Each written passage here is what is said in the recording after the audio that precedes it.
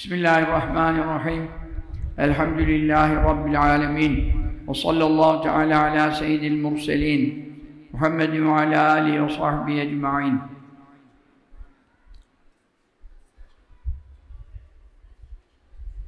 أعوذ بالله السميع العليم من الشيطان الرجيم رب أعوذ بك من مزات الشياطين وأعوذ بك رب يحضرون بسم الله الرحمن الرحيم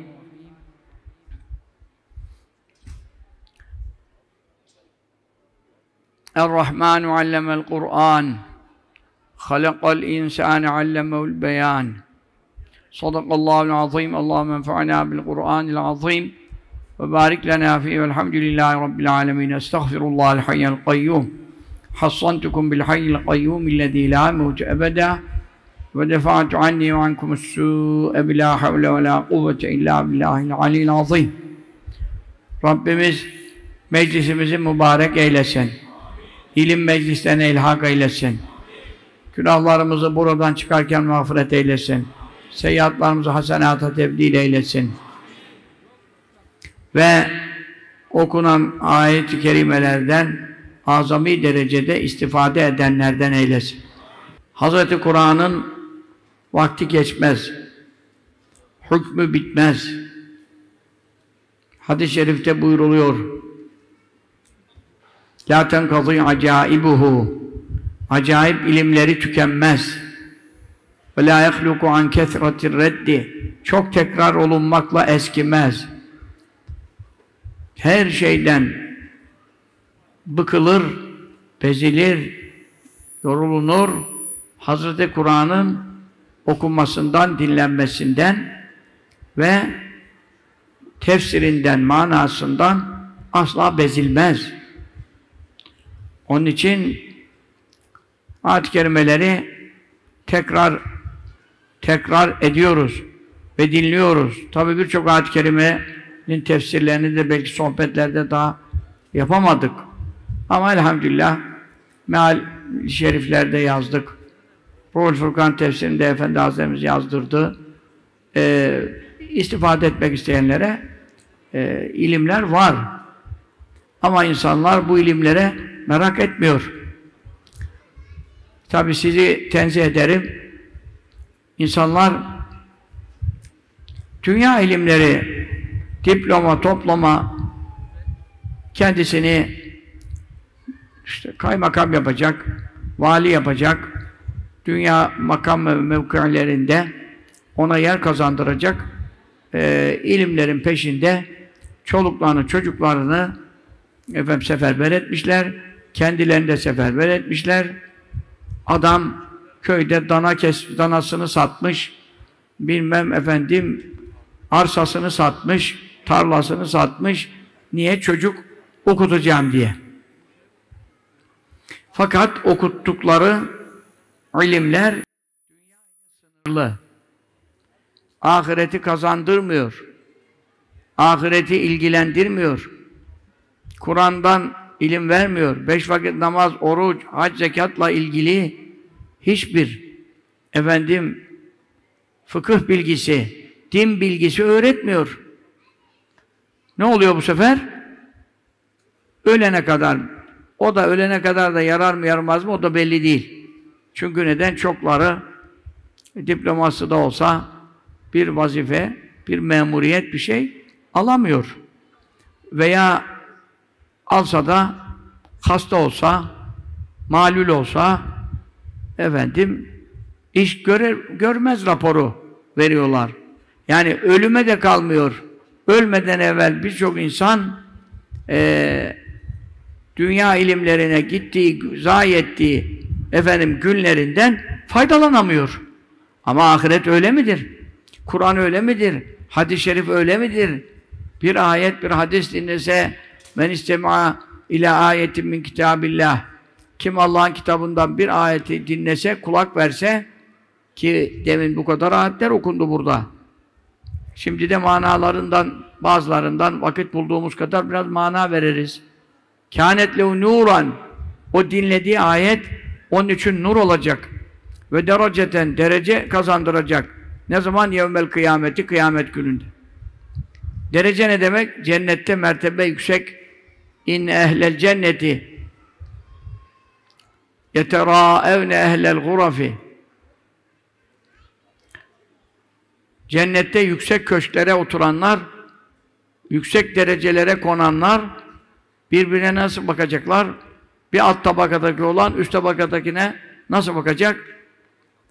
Ee, kema yetera ehlü dünya en nücum. Dünya halkı buradan yıldızlara nasıl bakıyor? Buradan yıldızlara ne kadar mesafe var? Hangi uydu veyahut hangi füze kaç saatte gidebiliyor? Kaç günde gidebiliyor? Gidebildikleri yer görülen yıldızlardan çok aşağı. Çok aşağıda kalıyor. Bu kadar yıldızlar ondan sonra ışıkları bize efendim bilmem ne kadar yılda ulaşıyor. Diyorlar ki şu anda yıldızdan gördüğümüz ışık şu andaki onun ışığı değil. Bilmem ne kadar yıllar evvelki ışık diyorlar. Ve e, o ışıkları efendim insanlar şimdiki ışık zannediyor. Cennette de bir alt mertebedeki, bir üst mertebedekine bakarken efendim buradan yıldıza bakar gibi bakacaklar. E neyle kazanılıyor? Hepsi Kur'an'la kazanılıyor. Kur'an ehline ne denecek? Yukalu lihafızıl Kur'an li ehli Kur'an ikra verqa verattil kema kunte turattilu fid dünya fe inne ahiran menziletike inde ahiratin tekrav biha oku bir ayet yüksel bir derece cennette adedü derecil cenneti bir adedi ayil Kur'an Kur'an'ın ayetlerinin sayısı kadar cennete derece var. Tabi bu derecelerin içinde de mertebeler var, o da ayrı. Altı bin işte küsur diyoruz. Diğer başka rivayetlerde mesela bazı kere altı bini de geçen çünkü her harfine bir derece diyor mesela bir hadis-i şerifte. Şimdi o her harfine bir derece falan onları saydığım vakitte bazen altı bini de geçiyor, altmış bini de geçiyor. Onun için hadisler arasında çelişki yoktur. Asıl dereceler Kur'an'ın ayetlerinin sayısı kadardır. Ama derecelerin de aralarında mertebeler vardır. O Kur'an ayetlerinin sayısını geçenler mertebelerden bahsediyor. Çünkü bir dereceyle ma beyne dereceteyni ke ma beyne semai vel ardı iki derecenin arası yerle gök arası kadar. E yerle gök arasına kadar mesafedir. Tirmizi hadisinde geçer. Hamsümiyet sene. 500 sene en hızlı giden vasıta ışık hızından da daha süratle giden melek hızı vardır. Melek hızı ışık hızından hızlıdır. Arş neresi? Ferş neresi? Yeryüzüdür. Cebrail aleyhisselam arştan yeryüzüne bir anda inebiliyor. Halbuki yedi kat semanın her biri 500 senelik mesafedir. En hızlı giden vasıtayla. Ve ondan sonra kürsi var, ondan sonra Sidretül Münteha var, kürsi var, levh-i mahfuz var. Ondan sonra arş en üstte, en son cisim. Arştan buraya göz açıp kapayana kadar iniyor. E bundan daha hızlı kim gidebilir? Onun için ışık hızından da hızlı melek hızı var. Peki bu melek hızıyla bile iki derece arası cennette gökle yer arası kadar. E tabii ki bu aralarda ne olacak? Dünya kadar da mertebeler var. Bütün bunlar kime ihsan edilecek? Kur'an ehline, zikir ehline, il ilim ehline. E şimdi dünyada adam memuriyette bir kademesi var.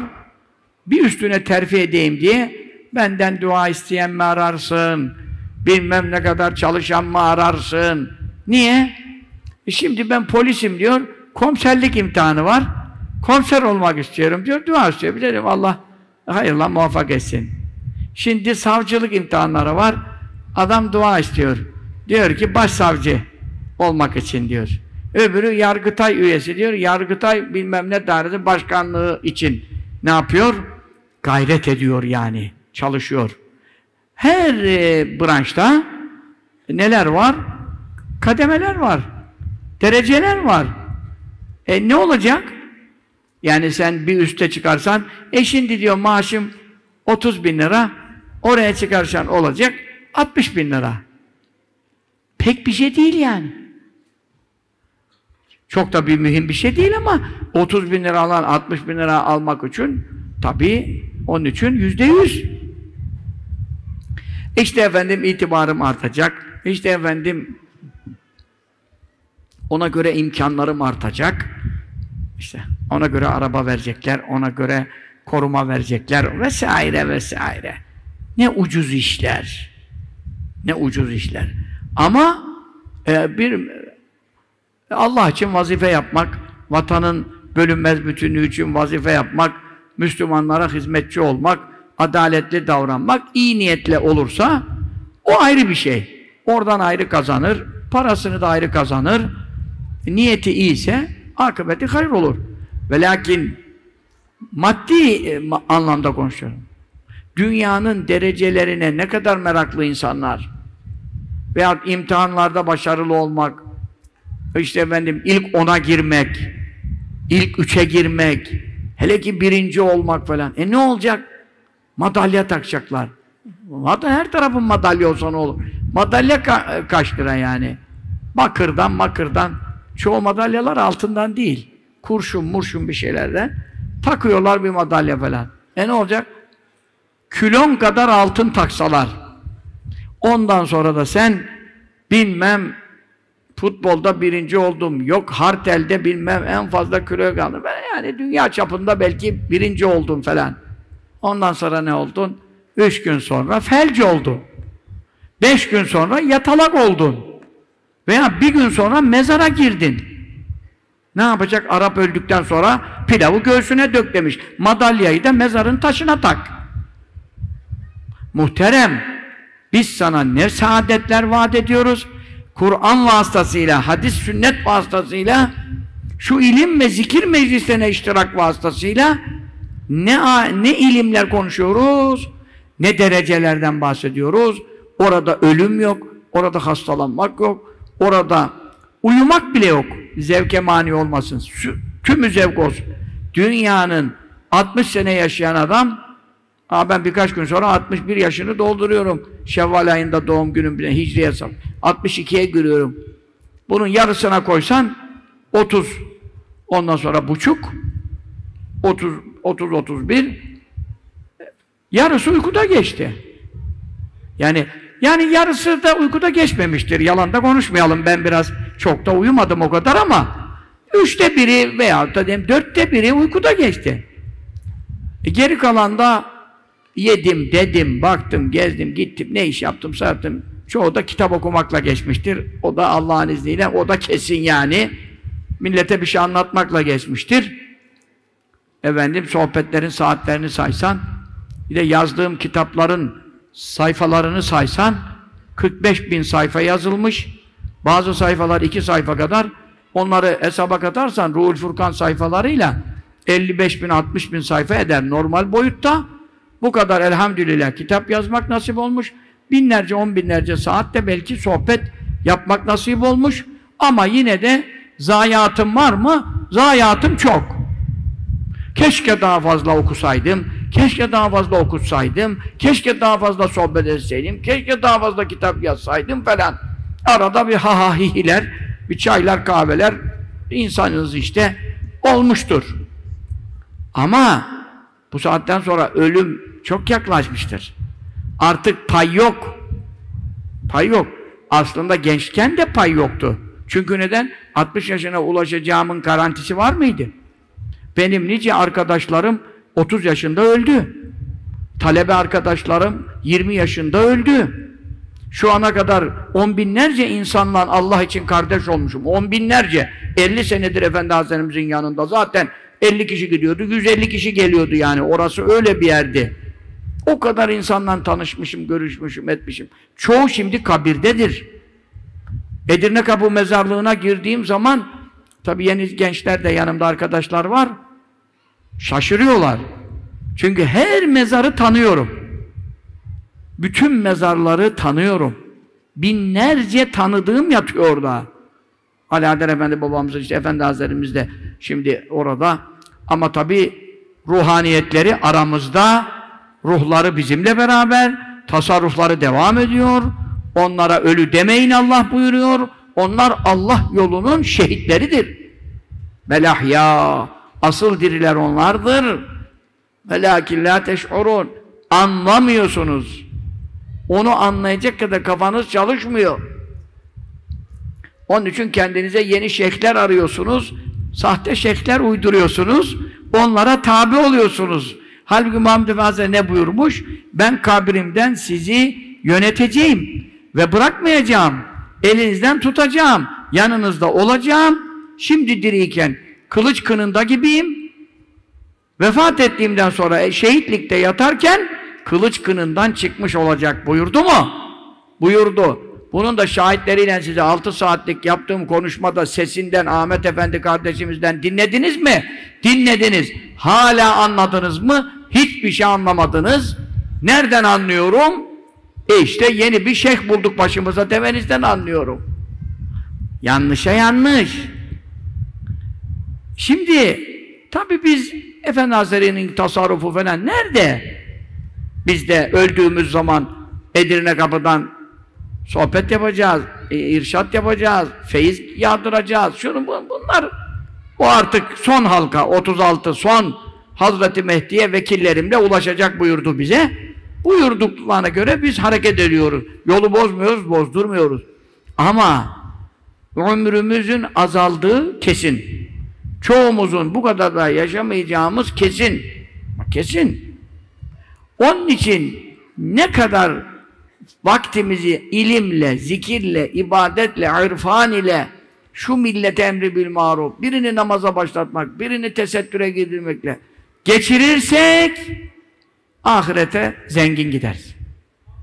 Yok maçlar, haçlar, filmler, diziler ya internet eskiden millet bilmiyorum 4 saat, 8 saat televizyon bir ara konuşulurdu.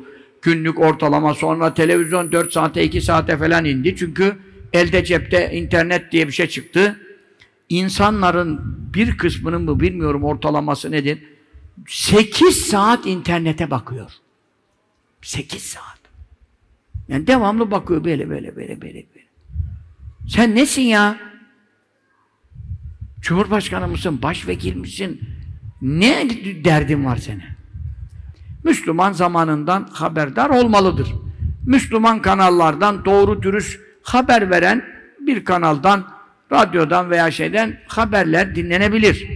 Veyahut İslami bir gazete, mecmua hakikaten ehli sünnet, düzgün haber veren, yalan yansıma bir şey varsa bir haber insan, bir haberdar olayım yani.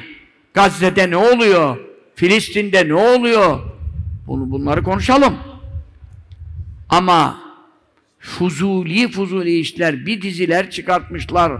Ondan sonra ya akıllı başında insanlar, kültürlü insanlar hiç dizi seyreder mi ya? Çok merak ed ediyorsan, akıllıysan bir özet alırsın. 30 dizinin özetini 30 dakikada öğrenirsin. Bir de onun arasındaki reklamına kadar. Hiç akıl yok yani. Niye? En büyük sermayen ne? Vakit. Vakit sermayesi parayla alınmıyor. Vakitle para kazanılıyor. Vaktin varsa para kazanırsın. Ama istediğin parayı koysan bir dakika ömrüne ömür katamazsın. Sen burada en büyük sermayeni veriyorsun manasız manasız şeylere. Bilmem ne dizisi İsmail Ağa'yı anlatıyormuş da adını söylemeyelim şimdi reklam olmasın da orada da şeyh ölmüş de bilmem ne olmuş da ne alakası var ya? Ne alakası var bunların ya? Müslüm Müslümanları da meraklandırıyorlar bu sefer. O şöyle mi oldu, bu böyle mi oldu?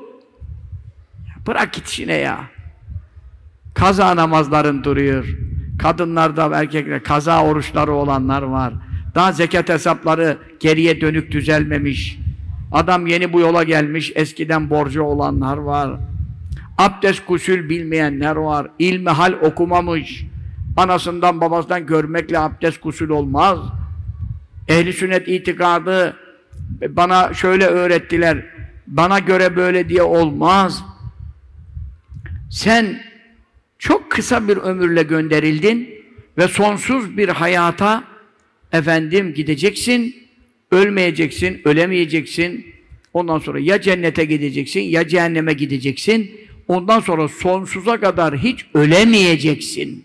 Şu saatlerle ya ebedi cennet kazanılıyor ya ebedi cehennem kazanılıyor. Toplasan 60, 70 desen 80, 120 ya. Hepsi hayat olsa, hepsi dört başı mamur olsa, hepsi zevk ve keyif olsa, hiç dünyada ayağına diken batmasan yaşasan, yüz sene bir an gibi geçiyor. Bin sene Nuh Aleyhisselam'ın 1250 sene nasıl geçti? Dediler, ey Nebi Nuh Nebiyallah, bu dünyadan ne anladın dediler. En uzun yaşayanlardansın dediler. Ne buyurdu? İki kapılı bir han gibidir. Birinden girmiştim, şimdi birinden çıkıyorum. Ha bu an, ha bu saat. Benim nenem öyle dermiş. Babama. Ben görmedim onu. Uşağım dermiş. Bizim Karadeniz tabiriyle. Uşağım dermiş. Ha bu an, ha bu saat. Halbuki yüz yaşlarına yaşamış. Yani şu anı nasıl biliyorsan aynı böyle bir anda ölümünü bileceksin. Bitti. Arası geç o işlere. Kalmıyor bir şey. Baklavanın tadı devam etmiyor. Hanımından efendim cima ediyorsun, tadı devam etmiyor. Kimisi dakikalık, kimisi saniyelik. Hiçbir lezzet kalıcı değil. Cennet öyle mi? Cennet öyle mi? Ağzına aldığın bir lokmanın tadı ebedi devam ediyor.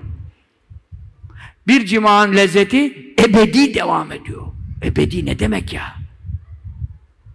Lezzetlerin doruk noktaya çıktık anlar dakikalarla ifade edilemez. Saniyelere düşer. Bazen saliselere bile düşer. O anların sonsuza kadar devam ettiğini düşün. Dünyada o zevk devam etse hayatın iptal olur. Zevkin bir sınırı vardır. Haddini aşarsa kalp durur. Üzüntünün bir limiti vardır. Haddini aşarsa kalp durur. Ondan sonra beyin çöker. Tamam mı? Pil de taksan pil çalışır, kalp ölür. Tık tık tık tık yapar ama adam öldü. Onun için siz hiç düşünebiliyor musunuz?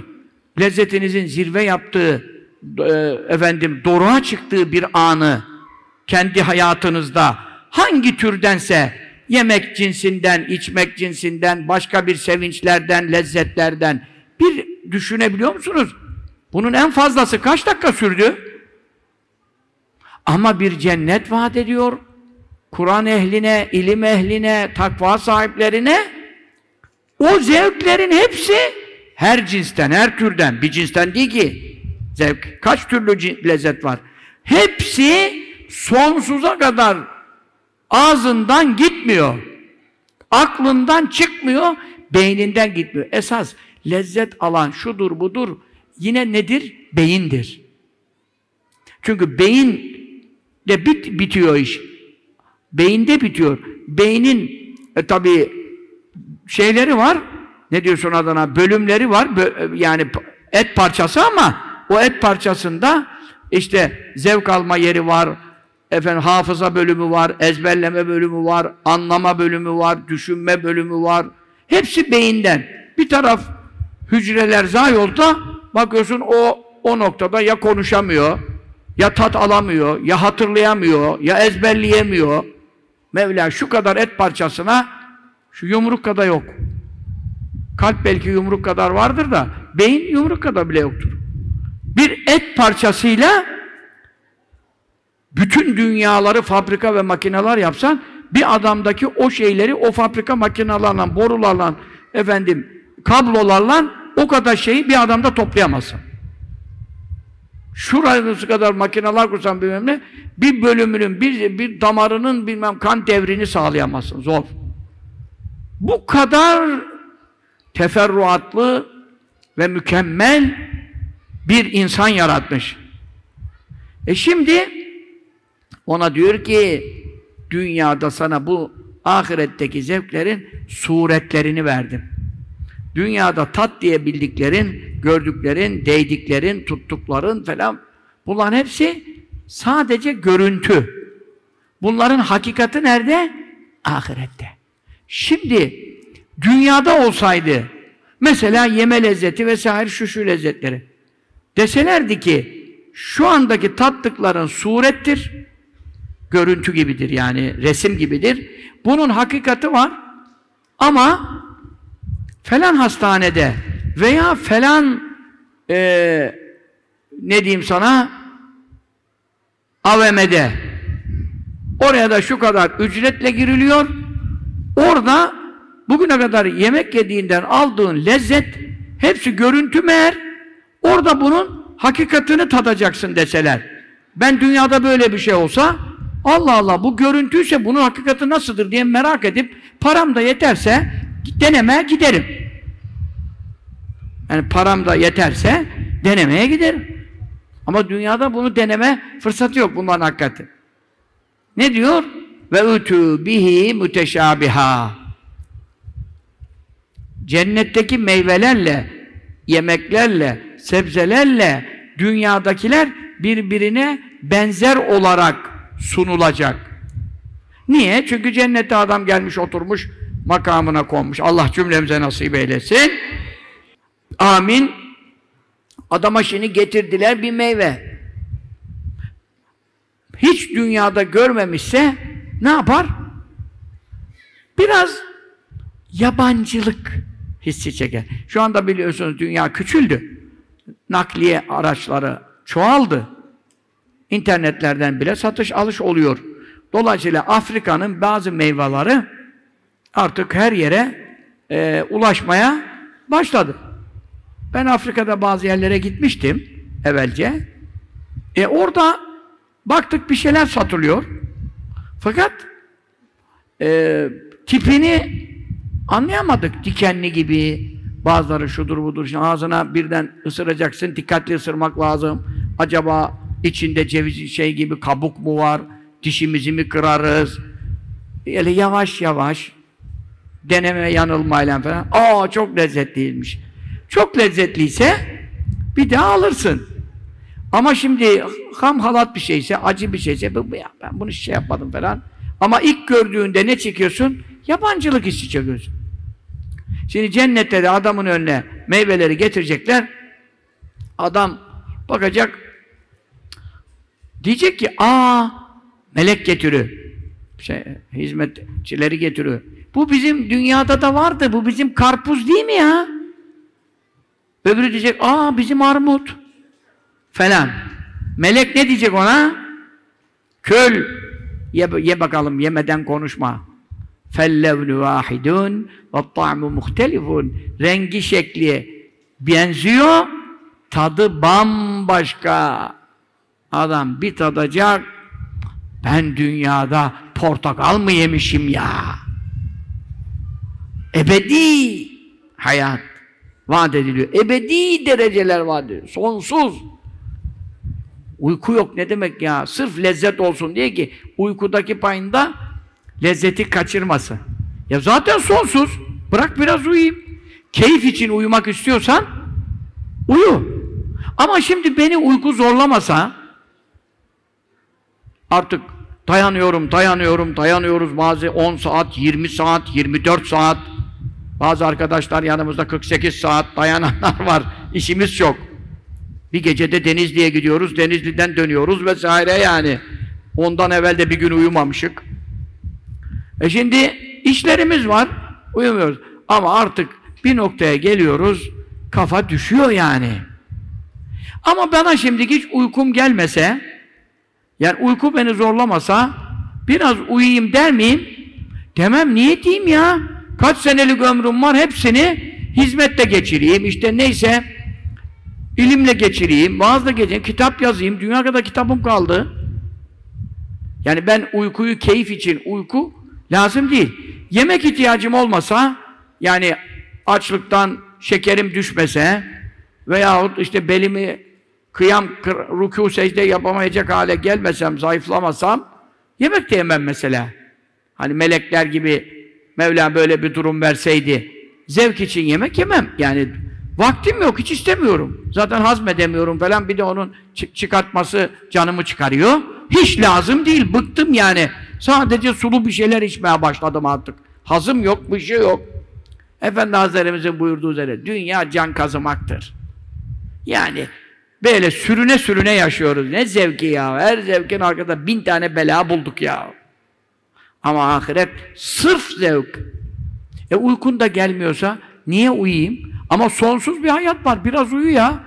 Ben yine uykuyu tercih etmem girersen. Niye? Uykum gelmiyor ki ne? Niye yatayım da bir sağa döneyim, bir sola döneyim?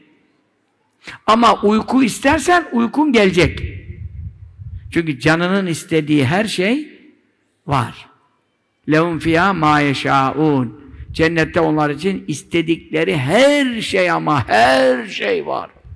Onun için uyku isteyen adam diyecek ben ekiyordum, biçiyordum. Cennette de her şey önüme geliyor.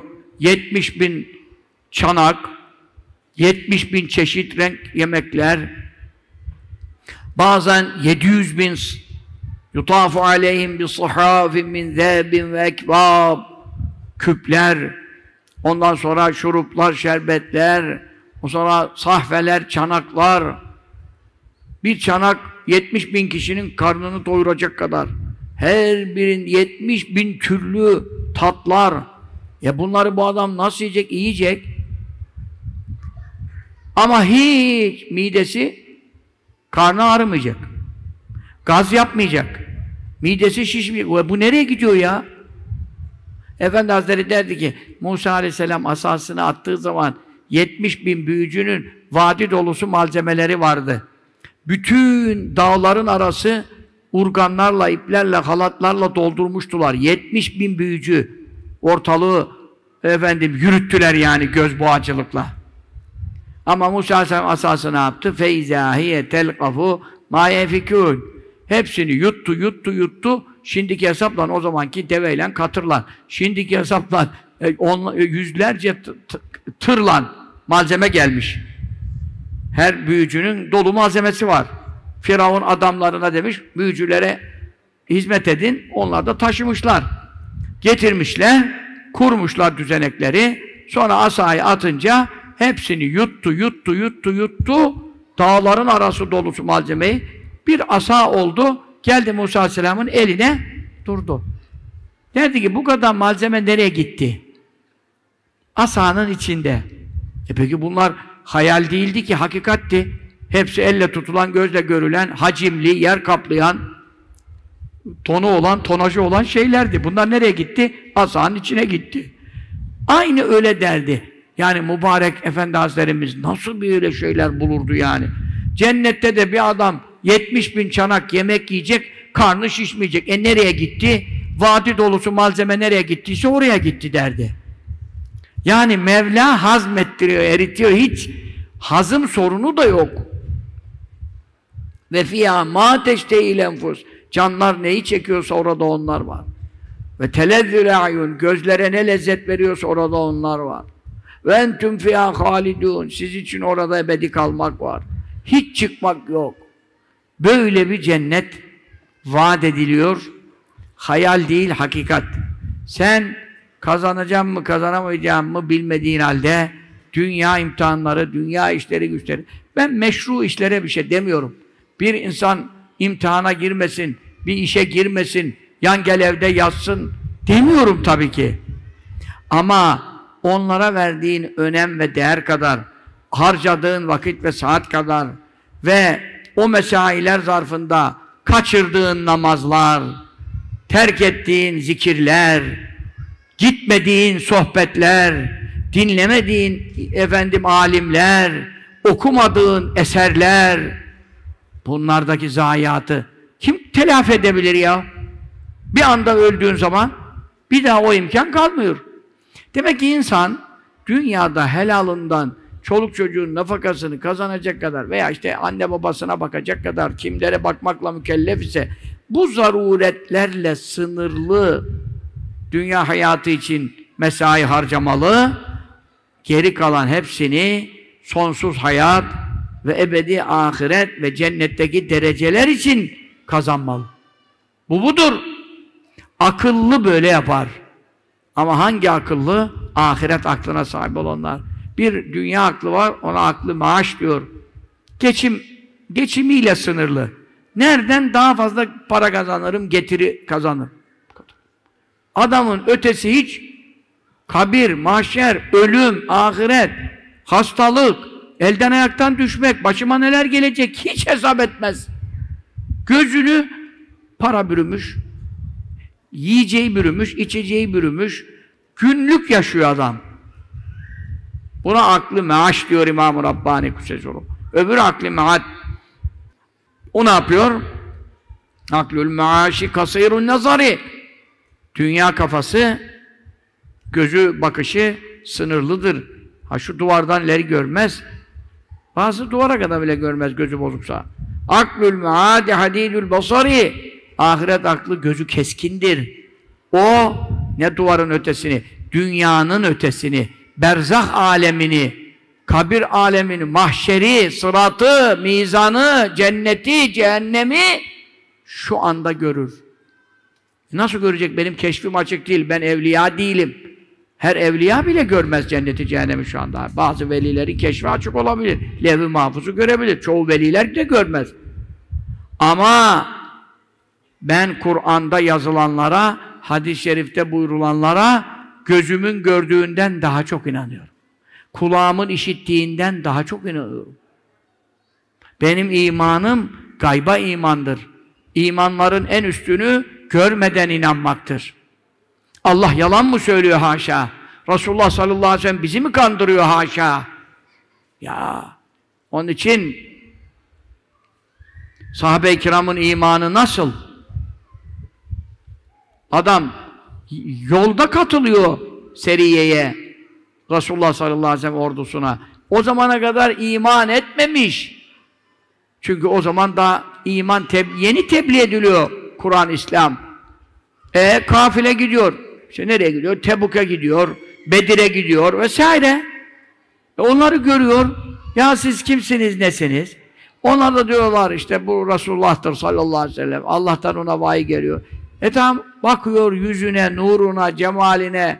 Levlem tekun fi ayatun mübeyyinetun lekâne manzaruhu yumbike bil haberi. Hiç mucizeleri bile olmasa, gö görüntüsü bile sana haberi söylüyor. Bunda yalancı yüzü yoktur diye sallallahu aleyhi ve sellem. İman etmek istiyor. Bazıları da mucize isteyen de var. Mucize isteyen de oluyor. Diyor şu ağacı çağırırsan, ağacı getirirsen, yürütürsen sana iman edeceğim diyor. Efendimiz sallallahu aleyhi ve sellem ağaçları davet ediyor. Câet li davetil eşyâru sâcideten temşi ileyhi alâ sâqim bilâ kademi Mevlâye salli ve sellim dâimen ebeden alâ habibike hayril halqi kullihimi Ağaçlar kökünden çıkıyor, böyle sürüne sürüne köklerini de arkasından alarak geliyor, secde yapıyor. E ondan sonra Resulullah sallallahu aleyhi ve sellem yerinize gidebilirsiniz buyuruyor. Tekrar yerlerine gidiyor.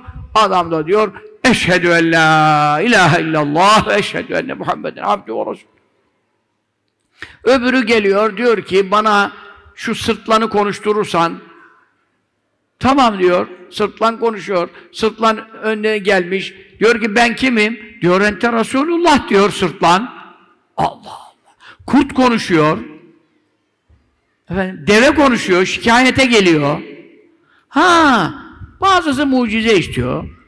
iman ediyor. Bazı mucize istemeden manzarası yeter mübareği görmüyor musun diyor. Bahtiyar oluyor. Ama o anda sahabeden oluyor. Öylesi var ki daha gusül abdesti bile almasına vakit yok. Çünkü harbe gidiyorlar. O güzergahta o an için su yok. Şimdiki gibi her yerde benzinci, musluk mu var? Gusül almamış. Halbuki yeni Müslüman olanın ilk yapacağı şey nedir? Gusül abdesti almak. Çünkü o zamana kadar cenabet sayılıyor müşrik olduğu için. Gusül alamamış. Namaz abdesti almamış. Namaz bilmiyor. Rekat kılmamış. bir kere anlı secdeye gelmemiş. Çünkü neden? O anda harbe gidiliyor. Namaz vakti de daha henüz gelmemiş. Bir namaz vakti de geçmiyorsa o dakikada o anda farz nedir? Cihat. O da orduyla beraber hareket ediyor. Geliyor. Kafirler karşıda. O anda kafirlerle karşılaşıyorlar. Demek ki e, menzilin son e, e, şeyde katılıyor. Yakın zamanda katılıyor ki hemen harp alanına giriliyor. Girilince Resulullah sallallahu aleyhi ve sellem buyuruyor. El müşemmirun lil cenneti. Cennete girmek için kolunu paçasını sıvayan var mı? Yani cennet önünüzde diyor. Allah yolunda cihattasınız. Şimdi kafirlerle kıran kırana muharebe yapılacak. Şehit olan direkt hemen cennete gidecek. Yani hazır mısınız diyor. Kolunu, paçasını sıvayan var mıdır? hadi bir cennete gideyim diyen varsa karşıdaki gavurlara girersin, cennete girersin yani. Bu kadar basit. Bu kadar yaklaştı. Cennetin kokuları geliyor buyuruyor. Sallallahu aleyhi ve sellem. Ondan sonra cennetin nimetleri ebedidir. Anlatıyor, anlatıyor. Sallallahu aleyhi ve sellem müjdeler. Bu zat da orada oturuyor. Yolculuk zaten o da yollardan gelmiş. Yorgun, aç, o arada bir hurma, yanında hurması varmış veya biri verdi neyse. Hurmayı çıkarıyor. Tam ağzına atacak. Ya diyor, ya Resulallah diyor, ben de şimdi diyor, şu kafirlere bir dalarsam diyor, ordu savaşa girmek üzere, cennete gider miyim diyor. Hem kaç cennete birden gidersin diyor. Ya diyor o zaman diyor cennet bu kadar yakınken diyor hurma yemeye bir lüzum var mı? Vakit yok bir hurma birkaç dakika ağzımız bir dakika ağzımızı meşgul etmeyelim.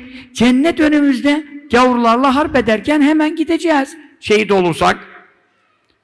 Diyor ve o hurmayı yemeden bir abdest, bir rekat namaz bile nasip olmadan itibar son nefesedir. O anda önündeki ilk farz cihat olduğu için saat ve dakika bakımından bir dalıyor gavurlara İslam ordusuyla beraber hemen şehit oluyor. Şimdi hurma yese ne olur, yemese olur? Vel ahyâun inde rabbim yurzakûn. Asıl diriler şehitlerdir. Rableri nezdinde rızıklandırılıyorlar. Ne oldu hemen? Hemen yemek geldi mi? Ölür ölmez. Cennetten rızık geldi mi? Şarap, şerbet geldi mi? Cennet şaraplandı. Hepsi geldi. E şimdi adam akıllı adam. Ya diyor ben burada bu hurmayla uğraşana kadar bir an evvel cennete gitsem de şehit olsam orada yesem içsem. İmana bak.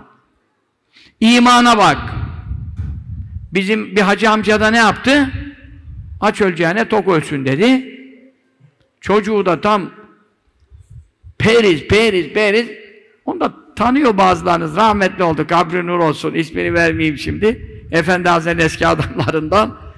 Doktorlar dağ gibi şişman adamı onu yeme, bunu yeme, erittiler, erittiler. Hastalığı var. Baktı ki dedim dedi ya çocuğu da yaşı var biraz. E dedi çocuk ölüyor zaten. E bunlar da düzeltemiyor hiçbir ilaçla. Kaç gündür hastanedeyiz. Dedi aç öleceğine tok ölsün dedim dedi. Getirin dedi turşu, acılı ne varsa.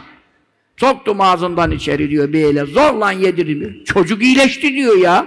Bunları dinlesek aç ölecekti diyor. Dedim ki diyor zaten ölecek bu durum yani iyiye gitmiyor dedi. Aç öleceğine tok ölsün dedim dedi. Bütün turşu ulan turşu olur mu? Bari normal bir yoğurt çorbası falan hastaya uygun bir şey yap ya. Vallahi dedi tam tersini yaptım dedi. Ama siz yapmayın ha böyle denemelerle iş olmaz. Siz doktorları dinleyin. O biraz deliliği vardı rahmetlinin. O oğlu hala yaşıyor. Benim bu dediğim 40 senelik iş. Yani adam orada akıl kullanıyor. Ne diyor? Yani ulan şehit olacağım şimdi de bir hurma yiyeyim de bari öyle şehit olayım demiyor. hurmayı yiyene kadar vakit geçirmeyelim, bir an önce cennete gidelim. Akıl budur. İman budur. Sonra Resulullah sallallahu aleyhi ve sellem geliyor.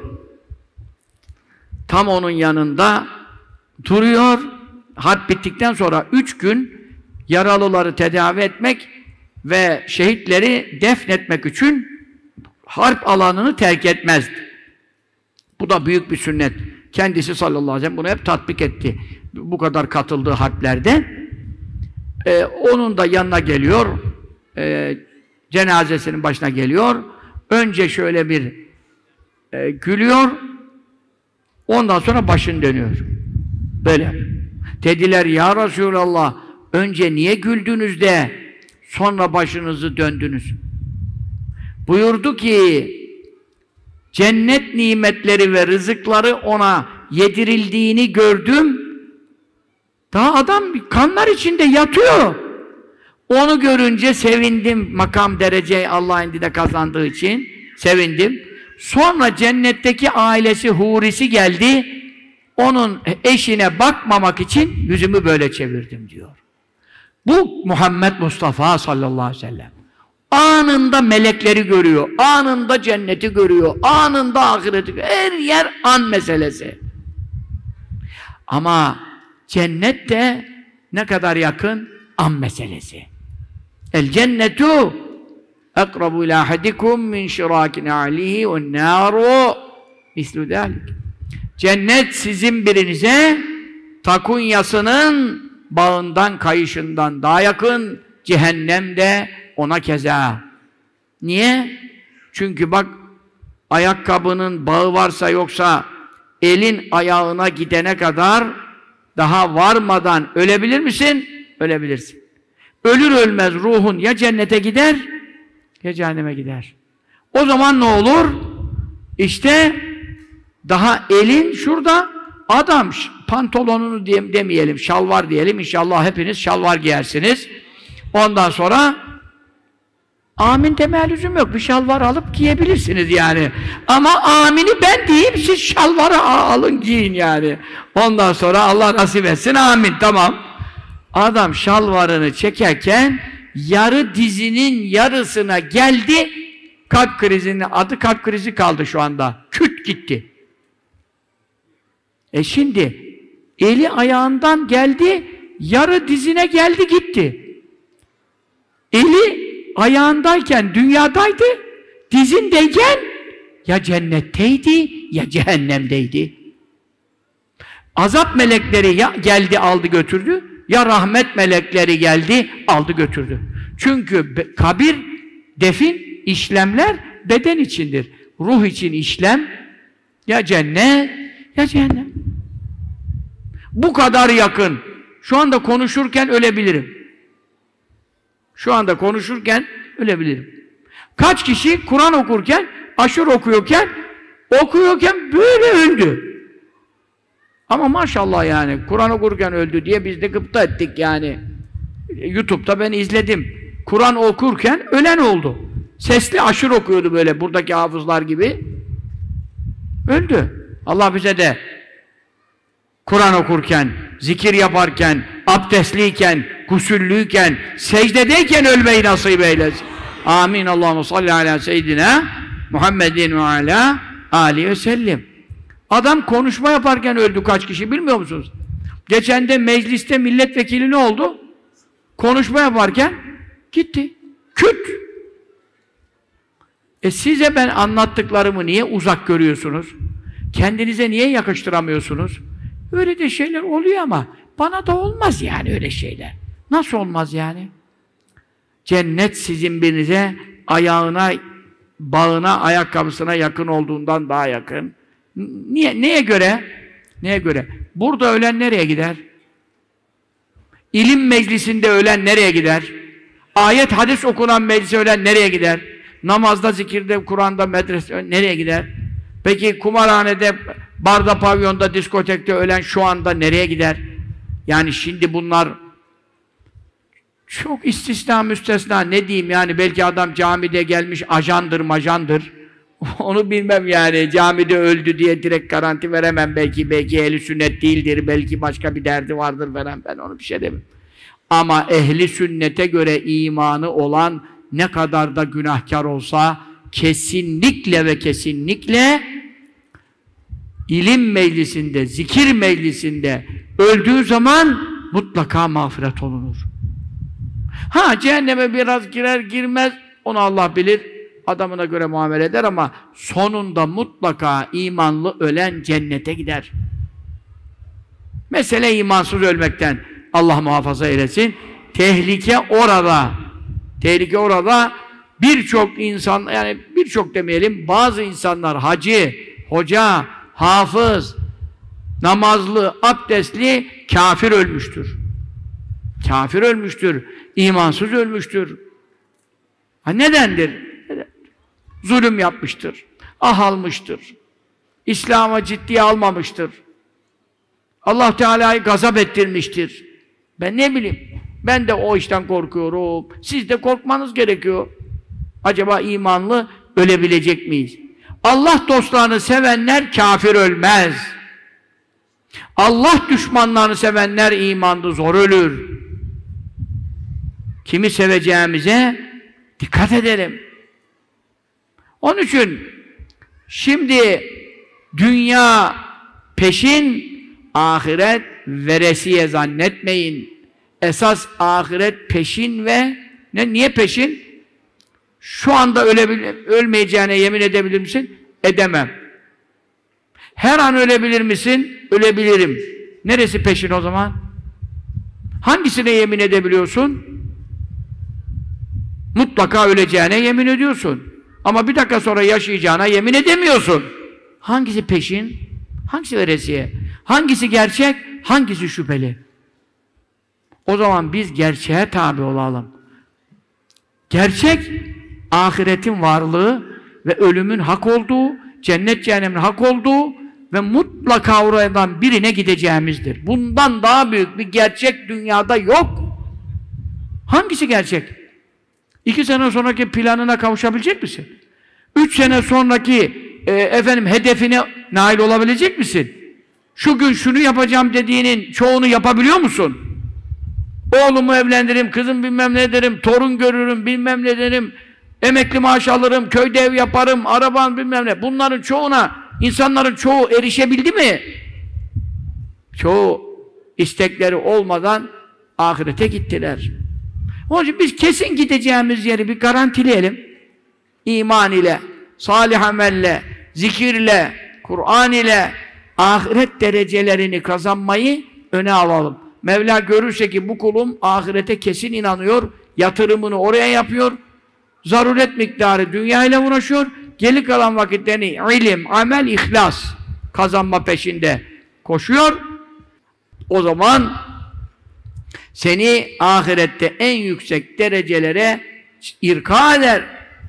Mesela Kur'an okumaya başladı veya hafızlık yapmaya başladı veya bazı sureler ezberlemeye başladı veya fıkıh ilmi, ilmihal, hoca efendilere gitti medreseye bir şeyler okumaya başladı veya yaşı geç, geç idi, genç idi fark etmez. Okuyamadan öldü. Yani Kur'an'ı bitiremeden öldü. Hafız olmadan öldü. Fıkıhı bitiremeden öldü. Dersleri bitiremeden öldü. Ne olacak? Allahu Teala onun niyetine bakar. Eğer o yaşasaydı kalan ömründe ona o dersleri, ilimleri, hafızlıkları bitirecek kadar ömür verseydi o orada devam edip bitirecek miydi? Bitirmeyecek miydi? Onu bildiği için o da o yolda öldüğü için Allahu Teala ne yapar? Hadis-i şerifte buyruluyor. O adam mezara girdiği zaman onun ruhuna hoca tayin eder. Ruhu ölmüyor ya. Kimi hoca tayin eder? Mesela senin hafızlık hocan kim idi?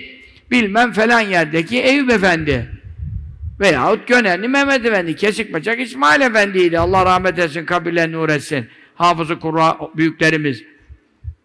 E şimdi kabirde ruhlar olarak ona hangi zatların ruhlarını gönderir? Üf! Çok yüksek seviye. O sağlığında öyle karilere kavuşamadı. Asım kıraatı diyoruz ya, Hafs rivati diyoruz ya. Bir de baktın kabirde gelmiş, hafızlık yapmadan, bitiremeden ölmüş adamı ruhuna kim ders veriyor? İmamı Asım. İlk on kariden biri. İmamı Hafs. Hadis derslerini bitiremeden ölmüş. Kim geldi? Bukhari. Kim geldi? Ahmed İbni Hanbel. Fıkıhta kim geldi? Ebu Hanife. Radıyallahu anh Ebu Yusuf. Radıyallahu teala anhu mecmain. Yani adam der ki iyi ki dünyada bitirmemişik ya. Seviye düşük olacaktı icazet aldığımız seviye. Seviye çok yüksek oldu kabirde bitirince ya. Vallahi tallahi böyle Efendi Hazretleri kaç kere bunu anlattı. Hangi ayetin tefsirinde estaizu billah ve men yahruc min beytihi muhaciran ilallahi ve rasulihi thumme yudrikul mevtu fekad veka'a ecruhu alallah kim Allah ve Resulüne kavuşmak için yoluna ulaşmak için hicret ederse Mekke'den çıkarsa Medine'ye doğru giderse bugün de bir insan evinden, işinden medreseye giderse, ilim meclisine giderse, mescide çıkarsa, sonra varamadan ölüm onu bulursa, eceli gelip ölürse, kimse zannetmesin ki o yetiştiremedi, maksadına erişemedi, hafızlığı da yarım kaldı, hafızlar gibi derece alamaz, ilmi yarım kaldı, efendim istediği hedefler, ibadet hedeflerine ulaşamadı. Onun için mahrum oldu. Geç kaldı demeyin diyor. Onun ecrini, sevabını vermek ancak Allah'a aittir. Allah'a düştü diyor. Çünkü neden? Mesele yola çıkmaktı. Niyetti. Ama sade niyet yetmez. Mazereti yoksa harekete de geçmek lazım. Harekete de geçti mi? Geçti. Ama vade erişti eceli geldi. Mevla buyuruyor ki ben onu hafız olarak mahşere çıkaracağım. Alim olarak mahşere çıkaracağım. Muhaddis olarak mahşere çıkaracağım. 40 hadis. Men hafiza ala ümmeti erba'ine hadisen bu'ise yevmel e, kıyameti alimen fakihen kim benden 40 hadis öğrenirse Sahabe ise kulağıyla duyduysa, değilse tabi'in sahabeden, öbürü sahabeden, tabi'i tabi'in sahabeden duyandan, duyandan, duyandan. Şu anda zaten kitaplar da var ama yine mutlaka alimden öğrenmek lazım. Evet, 40 hadis ezberlerse, kim 40 hadis ezberlerse, derdi ümmetime okumak, ve bulunduğu meclislerde hemen birkaç hadisi şerif ezberden, her yerde kitap yanında taşıyacak hali yok, ezberden 40 hadis-i şerif rivayet edebilirse, manasını anlatabilirse, lafzını nakledebilirse, 40 hadise koymuş bunu. Kıyamet günü o kişi çok bir ilmi olmasa da, hafız hoca olmasa da sırf 40 hadisle bile mahşere alimler ve fıkıh fıkıhçılar arasında diriltilecektir. 40 hadiste mi yapamadınız? Ben size 40 hadis kitabı yazdım. Ama benim 40 hadis yazdığımın özelliği Kütüb-ü Sitte imamlarının yani altı imamın Bukhari, Müslim, Ebu Davud, Nesai, İbn-i Mace, Kazvini ondan sonra efendim bulduk mu? Tirmizi altı imamın da ittifak ettiği hadisler. Yani o kırkın her birinde altı imamda rivayet etmiş. Yani çok kuvvetli. Onun için benim 40 hadis kitabı tabii uzun oldu 500-600 sayfa. Neden? E çünkü kaderle ilgili bir hadis icabında e, 40 sayfa izah getiriyorum.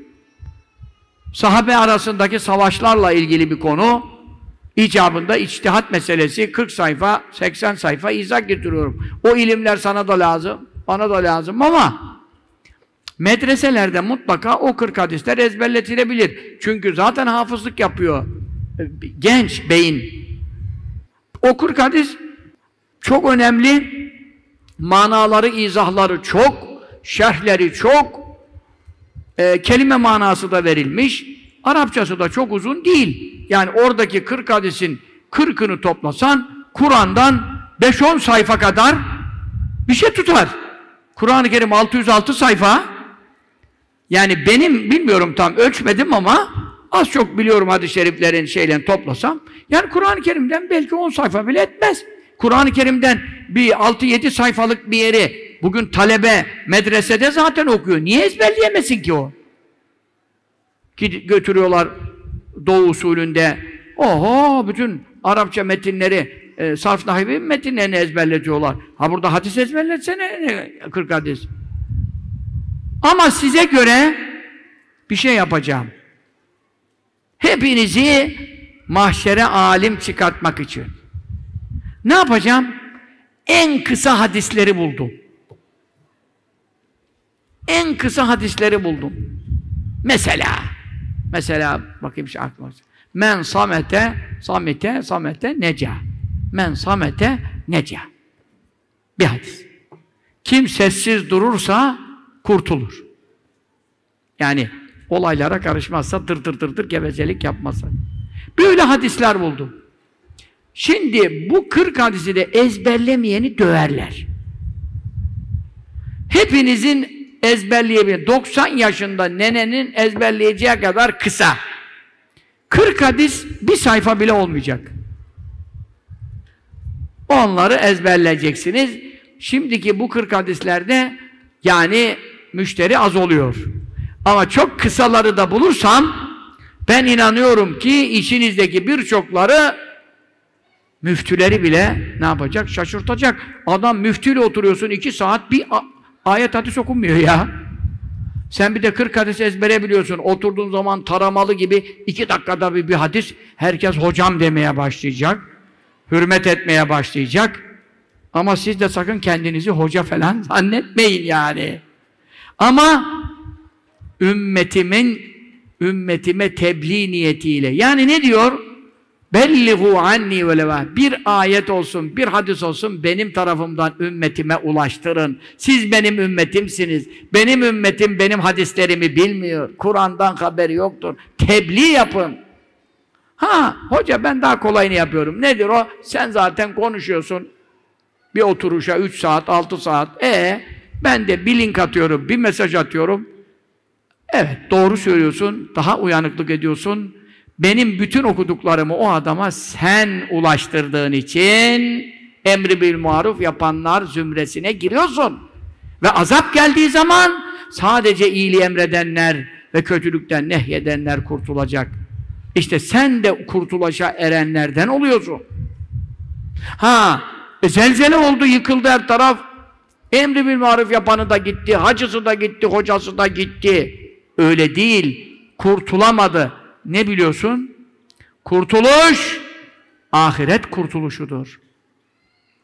Depremden kurtulmak kurtuluş değil. Depremden sağ salim çıktın, ondan sonra da içki, kumar, zina devam ettin, cehennemi boyladın. Keşke o günahlar nasip olmadan öleydin de cehenneme girmeyeydin. Yani şimdi bir insan şunu şöyle anlamamalı iyiliği emredenler, kötülükten ne edenler, azap gelince kurtulurlar. Bunun misali var. Nedir o? Cumartesi günü balık avlayanlar.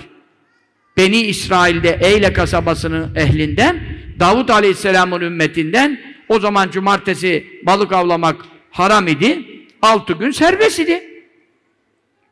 Ama Allah'ın da işi, altı gün balıklar denizin dibine çekiliyor, cumartesi haram, Balıklar geliyor, oynamaya baş. Suyun üstünde. Gel de beni yeme. Allah böyle yapar. Celle Celaluhu. Bunlar da ne yaptılar? Üçe ayrıldılar. Bir kısmı ben dedi direkt dedi cumartesi dedi balığı tutarım yerim arkadaş. Bir kısmı dedi ki cumartesi dedi denizin içinde havuz yapalım orada tutalım da hile-i şeriye olsun pazar çıkarırız sudan dedi. Allah hile yapıyor. Tabii, hepsi ayet. Bir kısmı da Ya yapmayın, etmeyin, gitmeyin Allah'ın belasına, lanetine çarpılacaksınız. Bunu çok anlattım eski sohbetler. Özetle. Ne oldu burada? Felemma nesu ma zukkiru bihi kendilerine yapılan vaazları, tebliğleri terk ettiler. Hadi git işine ya. Harammış, helalmış. Altı gün balık yok. Ölelim mi?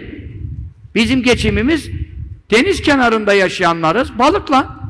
Dediler. İmtihanı kaybetti. Enceynellezîne yenhevne anissû kötülükten nehyedenleri kurtardık. Üç kısım. Kesin kurtulan kim? Kötülükten nehyedenler.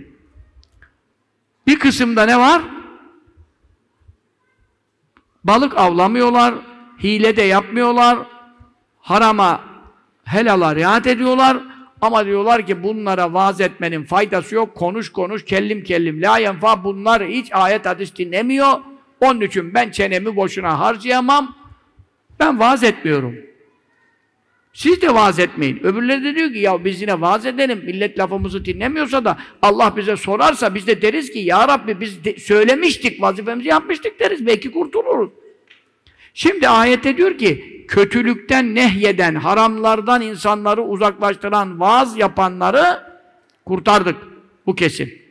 Ve ehazinellezine zalemu o zalimleri yakaladık. Bi azabin beisin çok şiddetli dünyada misli görülmemiş murdar bir azapla. Neden bir makanu yefsukun? Bizim yolumuzdan, taatımızdan çıktıkları için. Efendi Hazretimiz hep onu derdi. Sonra tefsirlerde de gördük. Şimdi burada işte onlar sonra aralarına duvar çektiler. Ee, dediler ki biz sizinle aynı ortamlarda artık yaşayamayız. Aynı çarşıda, pazarda alışverişe gezemeyiz. Siz Allah'ın haramını e, işliyorsunuz, sınırını aştınız. Onun için birbirlerini görmemeye karar verdiler. Kiminin anası o tarafta kaldı, kiminin oğlu bu tarafta kaldı. Yani emirleri tutanlar, tutmayanlar. Burada da biliyorsunuz bir aile bir hareket yapmıyor. Şu anda da aynı ailede içki içen var, namaz kılan var, zina eden var, e, çarşaf giyen var, böyle. Bu sefer ne yaptılar? Duvarı ortadan çektiler, birbirine iş güç yapmadılar. Sonra bir, her sabah herkes bu tarafta kalkıyor, bu tarafta kalkıyor, hayat başlıyor. Ama bir sabah kalktılar, karşı taraftan çıt yok, duman tütmüyor. Her sabah herkes bir şey ısıtacak. Bir duman tütecek. Duman yok. Ya bunlar dediler bunlardan, hadi ikisi uyudu, beşi uyudu, herkes mi uyudu? Sabahın kaçı oldu? Güneş bacağı döndü. Ses yok. Dediler burada bir şey oldu. Ne oldu dediler? Duvara tırmanacak bir şeyler koydular. Duvardan bir baktılar ki bir tane insan kalmamış. Ekseriyette haram işleyenler maymun ve domuz sürüleri dolaşıyor. Maymun ve domuz sürüleri dolaşıyor. Bu ne oldu dediler ya. Hadi dediler, deldiler duvarı kapıyı. Geldiler. Bu sefer maymunlar, domuzlar akılları başlarında suretleri maymuna, domuza dönmüş. Aynı hayvan. Geliyor, mesela kardeşini görüyor, mesela babasını görüyor. Babası öbür taraftaydı. Dedi, oğlum yapma dedi. Oğlu dinlemedi. Bu sefer o oğlunu tanıyamıyor. Niçin? Hep maymun birbirine benziyor, domuzlar birbirine benziyor. Nereden bilecek hangisi babası, hangisi teyzesi? Bu taraf onları tanımıyor. Ama onlar bunların sureti insan sureti olduğu için onları tanıyor. Aklı da başında geliyorlar böyle dizlerine sürtünüyorlar. Onlar da anlıyorlar ki bu benim bir akrabam ama hangisi hangisi acaba? Böyle acıklı bir durumda üç gün, üç gece yaşadılar. Sonra maymun ve domuzlar hepsi bir anda helak oldular. İşte çetin azapla onları yakaladık diyor. Onlar da diyorlar ki biz size demedik mi Allah'ın sınırlarını geçmeyin. Demedik mi diyorlar. Onlar hı, kafa sallıyorlar, inliyorlar ama artık konuşma da kalmadı. Bu belayı boyladılar. Şimdi arada kim kaldı? Haram işlemeyen ama vaaz etmeyen. Bana ne neme lazım ya? Allah belalarını versin deyip gidenler var. İşte onlar hakkında Efendi Hazretlerimiz derdi ki açık beyan yok. Bazı rivayetlere göre onlar da kurtuldu maymuna domuza dönmedi. Bazı rivayetlere göre vaazı terk ettiği için onlara da bir azap geldi. Maymun domuz olmasa da.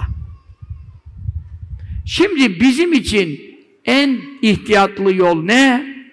Ayet hadis okumak, bazı nasihat. E ben hoca değilim. O zaman bu sohbetleri biz sitelimize koyuyoruz. Üyelik bedava. Kimseden para pul toplamıyoruz. İnsanlara tebliğ edin. Allah için vaaz edin diyoruz. Daha ne diyeceğim? Bak ayağınıza geldim. Yine de geleceğim.